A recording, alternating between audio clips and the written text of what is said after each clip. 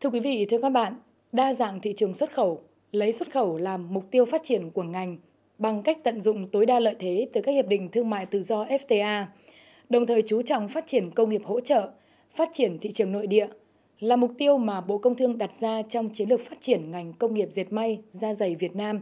đến năm 2030, định hướng đến năm 2035. Trong những năm gần đây, xuất khẩu của ngành da dày dệt may luôn chiếm tỷ trọng lớn trong tổng kim ngạch quốc gia.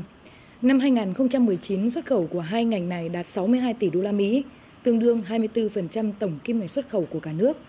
Năm 2020, ngành dệt may da dày phải đối mặt với nhiều khó khăn do tác động của dịch COVID-19, nhất là khi các thị trường xuất khẩu lớn như Mỹ, EU, tình hình dịch bệnh có diễn biến phức tạp, nhưng kim ngạch xuất khẩu của ngành dệt may da dày vẫn đạt trên 55 tỷ đô la Mỹ. Tuy nhiên bên cạnh những thành công, ngành dệt may da dày phải đối mặt với không ít khó khăn và thách thức, nhất là khi Việt Nam đã và đang hội nhập kinh tế quốc tế sâu rộng thông qua rất nhiều các hiệp định thương mại tự do FTA. Do đó đòi hỏi ngành cần có chiến lược phát triển phù hợp hơn trong thời gian tới. Các FTA thế hệ mới mở ra cơ hội vàng để các doanh nghiệp dệt may và da dày hưởng lợi. Thực tế lâu nay các doanh nghiệp trong nước vẫn chỉ sản xuất ở công đoạn giá trị gia tăng thấp nên lợi nhuận thấp.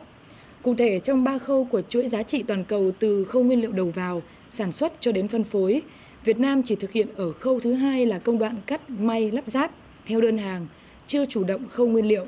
Do vậy, việc phát triển công nghiệp hỗ trợ trong sản xuất nguyên phụ liệu dệt may được xem là yếu tố quan trọng để doanh nghiệp nâng cao sức cạnh tranh. Cái quan tâm lớn nhất của ngành dệt may để đảm bảo cho cái sự phát triển một cách bền vững á, là phải có đảm bảo cái công nghiệp hỗ trợ. Mà cụ thể mà tập trung nhất là sợi dệt nhộm để có cái nguyên liệu đầu vào để có thể xuất khẩu à, chủ động trong cái cái, cái cái cái phát triển của mình. Gần đây thì có cái F, FTA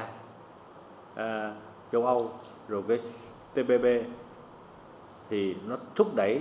cái cái cái cái cái chung của ngành cũng như là của xã hội á, là phải tập trung phát triển cái công nghiệp hỗ trợ để có thể khai thác được các lợi thế về cái các cái hiệp định thương mại. Cục Công nghiệp Bộ Công Thương cho biết, phát triển công nghiệp hỗ trợ trong lĩnh vực dệt may da dày sẽ giúp doanh nghiệp từng bước chủ động nguồn nguyên vật liệu, linh phụ kiện trong nước là một trong những vấn đề cốt lõi để phát triển bền vững công nghiệp Việt Nam. Thời gian qua, các chính sách ưu đãi với công nghiệp hỗ trợ ban đầu đã phát huy tác dụng, tạo tính lan tỏa, góp phần thúc đẩy phát triển ngành công nghiệp trong nước. Gần đây, chính phủ ban hành nghị quyết 115 về các giải pháp phát triển công nghiệp hỗ trợ, đặt mục tiêu đến năm 2025, doanh nghiệp Việt Nam có khả năng sản xuất các sản phẩm công nghiệp hỗ trợ có tính cạnh tranh cao, đáp ứng được 45% nhu cầu thiết yếu cho sản xuất, tiêu dùng trong nội địa, chiếm khoảng 11% giá trị sản xuất toàn ngành công nghiệp. Do vậy, phát triển ngành dệt may da dày có vai trò quan trọng, bởi đây là ngành sử dụng số lượng lao động lớn, lên đến hơn 4,3 triệu người. Công nghiệp phụ trợ đối với ngành da dày tuy sách là vừa hết quan trọng, bởi vì nếu phát triển tốt được công nghiệp phụ trợ thì ngành da dày và túi sách chủ động được trong sản xuất và à, tạo cho một cái sức mạnh lớn trong việc xuất khẩu hàng hóa. Để cái chính sách cho công nghiệp phụ trợ phát triển thì trước hết đòi hỏi một cái chính sách cụ thể trong việc đất đai đối với các địa phương bố trí quy hoạch các cái cụm công nghiệp hỗ trợ đó nó nằm ở các cái vị trí thuận lợi để tạo điều kiện cho các nhà máy da dày phát triển.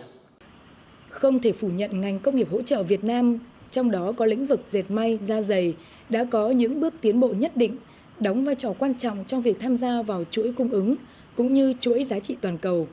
Tuy nhiên, hai ngành hiện nay vẫn còn nhiều hạn chế, nhìn chung quy mô và năng lực cạnh tranh của các doanh nghiệp Việt Nam còn yếu, chưa đủ lực để tham gia sâu vào chuỗi cung ứng và sản xuất toàn cầu. Mặt khác, trong thời gian qua, liên kết đầu cuối trong chuỗi sản xuất vẫn chưa thực sự chặt chẽ. Do đó, việc thu hút đầu tư hiệu quả và thúc đẩy kết nối kinh doanh, liên kết giữa các doanh nghiệp Việt Nam với các doanh nghiệp đa quốc gia, các doanh nghiệp đầu chuỗi trong nước và nước ngoài, phát huy vai trò liên kết của các doanh nghiệp, hiệp hội, nâng cao giá trị, sức cạnh tranh của sản phẩm và vị trí của doanh nghiệp Việt Nam trong chuỗi giá trị toàn cầu là một trong những giải pháp quan trọng. Chúng tôi cũng mong muốn cùng với hiệp hội cùng suy nghĩ đưa ra những giải pháp hết sức thiết thực trúng đích để có thể đề xuất với chính phủ à, một bộ giải pháp để cho chúng ta không chỉ nắm bắt cơ hội mà còn cả tạo ra được cả một chuỗi à, các nhà sản xuất nguyên phụ liệu đi kèm theo để làm sao chúng ta tạo ra một giá trị gia tăng lớn nhất trên lãnh thổ Việt Nam. Những tác động mạnh mẽ của đại dịch COVID-19 đến nền kinh tế toàn cầu, sự đứt gãy cuộc chuỗi cung ứng đặt ra yêu cầu tái cấu trúc đối với các tập đoàn đa quốc gia theo hướng tăng tỷ lệ nội địa hóa và phân tán rủi ro. Những thay đổi này đặt ra cơ hội và thách thức mới, đòi hỏi các doanh nghiệp Việt Nam phải tự chủ và năng động hơn trong việc tìm kiếm cơ hội tham gia vào các chuỗi cung ứng mới hình thành. Trong khuôn khổ chương trình phát triển công nghiệp hỗ trợ quốc gia,